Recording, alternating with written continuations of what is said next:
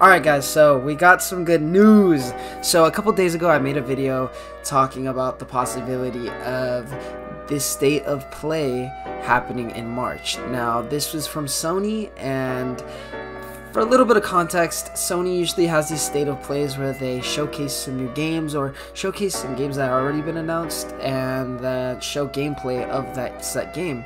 Now this month, March, was supposed to have one of those state of plays, and I can safely say and happily that it is happening tomorrow. Wednesday, March 9th. I was about to say June. March 9th. Here are the times on screen for you guys.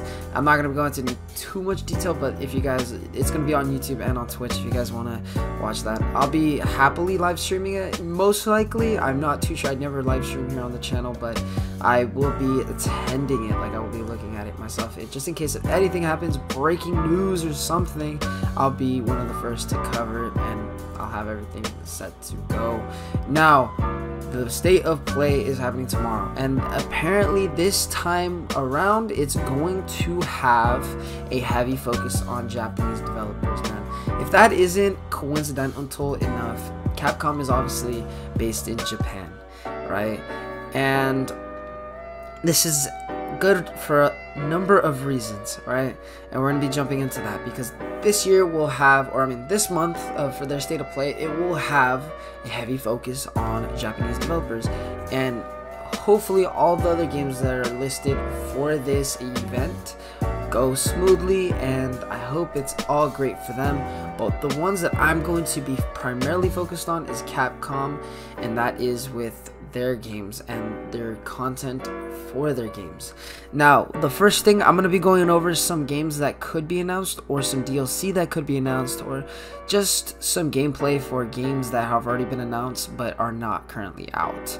The first one, Resident Evil DLC. This was a no-brainer. We still haven't seen any DLC. I predicted that this was going to come around the one year anniversary of Resident Evil 8, right? And that was on May 7th, 2021 when the game came out. It's going to be one year later, March, May 7th, 2022, which is about two months away.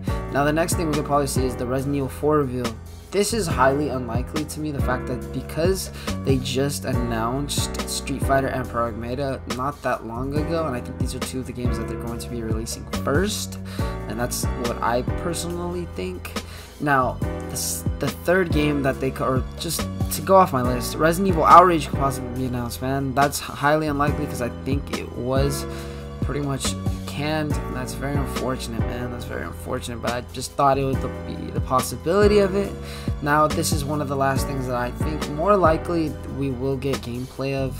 Uh, so we might see game. I already mentioned. I think I did. Uh, Pragmata or Street Fighter might get uh, some gameplay shown. And to top it all off, Resident Evil 2, 7, and 3, uh, the remakes and the 7, uh, seventh entry in this franchise, sorry, uh, might finally get some gameplay of the new, uh, I'm sorry, they're finally going to get some gameplay for their visually enhanced graphics that are coming to the PS5 and Xbox Series X and S.